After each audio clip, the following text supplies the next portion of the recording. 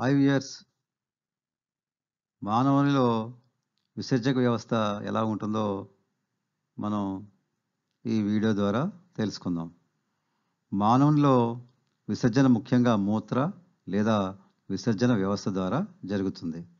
దీనిలో ఒక జత మూత్రపిండాలు ఒక జత మూత్రనాళాలు మూత్రాశయం మరియు ప్రత్యేకం మొదలైన భాగాలు ఉంటాయి మరి ఇక్కడ ఈ చిత్రంలో చూసుకుంటే కానీ మనం అదో బృహశిర అది ఉర్కగంధి మూత్రాశయం ప్రసేకం ఇంకా చివరన బాహ్యద్వారం. అలాగే ఈ పక్కన చూసుకుంటే ఊర్ధ్వధమని వృక్కధమని ఎడమ మూత్రపిండం వృక్కశిర ఎడమ మూత్రనాళం మూత్రనాళం మూత్రాశయంలో తెరుచుకుంటాయి ఇవి మరి మన యొక్క మూత్రపిండాలు విసర్జన వ్యవస్థలోని భాగాలు. మానవులలో చిక్కుడు గింజ ఆకారంలో ముదురు ఎరుపు రంగులో ఉండే ఒక జత మూత్రపిండాలు ఉంటాయి ఇవి ఉదర కుహరంలో పృష్ఠ శరీర కుడ్యానికి అతుక్కుని వెన్నెముకకు ఇరువైపులా అమరి ఉంటాయి. కుడివైపు మూత్రపిండం ఎడమవైపు దానికన్నా కొద్దిగా కిందికి ఉంటుంది. మూత్రపిండాలు పది సెంటీమీటర్ల పొడవు ఐదు ఆరు సెంటీమీటర్ల వెడల్పు నాలుగు సెంటీమీటర్ల మందంతో ఉంటాయి. ప్రతి మూత్రపిండం వెలుపల కుంభాకారంగాను లోపల వైపు పుటాకారంగాను ఉంటుంది. ఉదర కుహర కుడి భాగంలో అధిక ప్రాంతం కాలేయం ఆక్రమిస్తుంది. పుటాకారంగా ఉన్న లోపలి తలం మధ్యలో గల పల్లాన్ని హైలెస్ అంటారు. ఈ హైలెస్ ద్వారా వృక్కధమ్మని మూత్రపిండంలోనికి ప్రవేశిస్తుంది. వృక్కశిర మూత్రనాళం వెలుపలికి వస్తాయి. శరీరంలోని వివిధ అవయవాలలో ఉత్పత్తి అయిన వ్యర్థాలు ఆమ్లజని సహిత రక్తంతో కూడి వృక్కధమని ద్వారా మూత్రపిండాన్ని చేరుతాయి. ఆమ్లజని రహిత రక్తాన్ని వృక్కశిర సేకరిస్తుంది. అక్కడ రక్తం వడగట్టబడుతుంది ఫలితంగా వేరు చేయబడిన వ్యర్థాలు మూత్రంగా బయటికి విసర్జించబడతాయి. అయితే మరి మూత్రాశయం పలచని గోడలు కలిగి బేరిపిండ ఆకారంలో ఉండే సంచి వంటి నిర్మాణం ఉంటుంది. ఇది ద్రోణి భాగంలో పురుష నాళానికి ఉపరితలాన ఉంటుంది.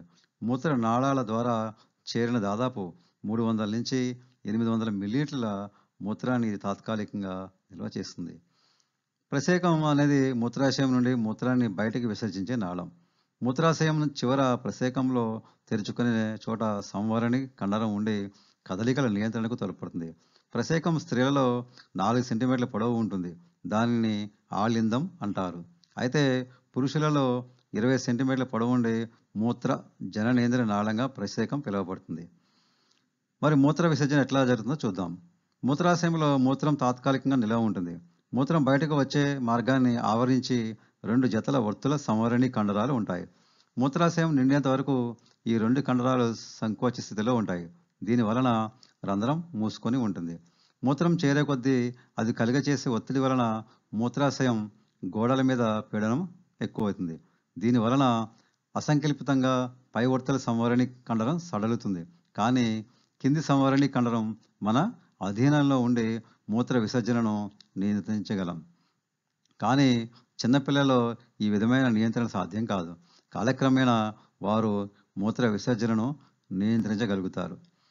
మూత్రాశయంలో గరిష్టంగా ఏడు వందల నుంచి ఎనిమిది వందల మిల్లీలీటర్ల మూత్రం నిల్వ ఉంటుంది. అయితే దాదాపు మూడు వందల నుంచి నాలుగు వందల మిల్లీలీటర్ల మూత్రం చేరినప్పుడు మూత్రాశయం ఉబ్బి దాని గోడలలోని స్ట్రెచ్ గ్రాహకాలు ఉత్తేజితమై మెదడుకు ప్రచోదనాలను పంపుతాయి. ఫలితంగా మూత్రం విసర్జించాలనే కోరిక కలుగుతుంది. మూత్రాశయం సంకోచించడం మూలంగా మూత్రం బయటకు పోతుంది. ఈ ప్రక్రియనే మూత్ర విసర్జన అంటారు. మానవుడు రోజుకు దాదాపు ఒకటి పాయింట్ ఆరు నుంచి ఒకటి పాయింట్ ఎనిమిది లీటర్ల మూత్రాన్ని విసర్జిస్తారు. అయితే అధికంగా నీరు పండ్ల రసాలు ద్రవాలు ఎక్కువ తీసుకునే వారు ఎక్కువగా విసర్జిస్తారు. అలాగే మరి తక్కువ తీసుకున్నవారు తక్కువగా విసర్జించడం సాధారణంగా జరుగుతుంది. మూత్రంలోని లవణాలు ఖనిజాల నుంచి కిడ్నీ రాళ్ళు తయారవుతాయి. తగినంత నీరు తాగకపోతే ఇవి ఒక చోట పేరుకుంటూ క్రమేపీ రాళ్ళుగా మారుతాయి. కొన్ని రకాల జబ్బులు లేదా జన్యులోపాలు కూడా కిడ్నీ రాళ్ళకు దారితీయవచ్చును. మరి ఆహార విషయంలో అయితే కనుక సోడియం వంటి లవణాలు మాంసాహార ప్రోటీన్లు కిడ్నీల్లో రాళ్ళు ఏర్పడడానికి దోహదం చేస్తాయి. ఇంకా చెప్పాలంటే ఊబకాయం మధుమేహం పెరగడం దీనికి కారణమని కూడా భావిస్తున్నారు. తగు పోషకాహారం తీసుకోకపోవడం కూడా కారణం ఒక కారణం.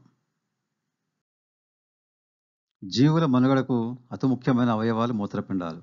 కానీ ఇన్ఫెక్షన్లు ప్రమాదాలు అధిక రక్తపీడనం మధుమేహం మరియు షుగర్ వ్యాధి ఇంకా మూత్రపిండాలకు ప్రవహించే రక్తంలోని ఆటంకాలు మొదలైనవి శరీరంలో విషతుల్యమైన పదార్థాల చేరికకు కారణమవుతున్నాయి. ఇదే పరిస్థితి కొనసాగితే మరణం కూడా సంభవించు. మూత్రపిండాలు పనిచేయని వారిలో డయాలసిస్ యంత్రంతో రక్తాన్ని వడగడతారు. కృత్రిమంగా రక్తాన్ని వడగొట్టే ప్రక్రియను హీమోడయాలసిస్ అంటారు. ఈ ప్రక్రియలో రక్తాన్ని ఒక ముఖ్యమైన ధమని ద్వారా బయటకు తెచ్చి రక్త స్కందనాన్ని నిరోధించే కారకాలను కలిపి డయాలైజర్ యంత్రంలోనికి పంపే ఏర్పాటు చేస్తారు. డయాలసిస్ యంత్రంలో రక్తం కొన్ని గదులు లేదా గొట్టాల వంటి సెల్లోఫేన్తో తయారైన నాళికల ద్వారా ప్రవహిస్తుంది. ఈ నాళికలు డయాలైజింగ్ ద్రావణాలు మునిగి ఉంటాయి. ఒక సన్నని పొర నాళికలోని డయాలైజింగ్ ద్రావణాన్ని రక్తాన్ని వేరు చేస్తుంది. నాళాలలో ప్రవహిస్తున్న రక్తం నాళాల బయట ఉన్న డయాలైజింగ్ ద్రావణం రెండు ఒకే విధమైన నిర్మాణాన్ని కలిగి ఉంటాయి. తేడా కేవలం నత్రజని వ్యర్థాలే. డయలైజింగ్ ద్రావణంలో నత్రజనియుత వ్యర్థాలుండవు. కనుక డయలైజర్లో రక్తం ప్రవహించేటప్పుడు నత్రజని వ్యర్థాలు వేరై రక్తం శుద్ధి చేయబడుతుంది. ఈ ప్రక్రియనే డయాలసిస్ అంటారు. ఈ ప్రక్రియ మూత్రపిండాల పనితీరుకు సారూప్యంగా ఉంటుంది. కానీ పునః శోషణ ప్రక్రియ జరగదు. శుద్ధి చేయబడిన రక్తం తిరిగి శరీరంలోనే ఎక్కిస్తారు. ప్రతిసారి డయాలసిస్కు మూడు నుంచి ఆరు గంటల సమయం తీసుకుంటుంది. మూత్రపిండాలు పనిచేయని వేలాది రోగులకు ఈ ప్రక్రియ ద్వారా ఉపయోగం ఉంటుంది. మూత్రపిండాలు పనిచేయని వారికి దీర్ఘకాలిక పరిష్కారం చూపే ప్రక్రియనే మూత్రపిండ మార్పిడి అంటారు. మూత్రపిండాలు పనిచేయని వారికి వారి దగ్గర బంధువు దాత నుంచి బాగా పనిచేస్తున్న మూత్రపిండాన్ని వేరు చేసి అమర్చుతారు. రోగికి అమర్చిన మూత్రపిండం సరిగ్గా సరిపోయేలా అసంక్రామ్యత వ్యవస్థ ఆ మూత్రపిండాన్ని తిరస్కరించకుండా ఉండాలంటే అతి సమీప బంధువు మూత్రపిండాన్ని దానం చేయాల్సి ఉంటుంది. అయితే ఆధునిక వైద్య విద్య వైజ్ఞానిక కృషి ఇలాంటి ప్రక్రియల సమర్థతను పెంచాయి.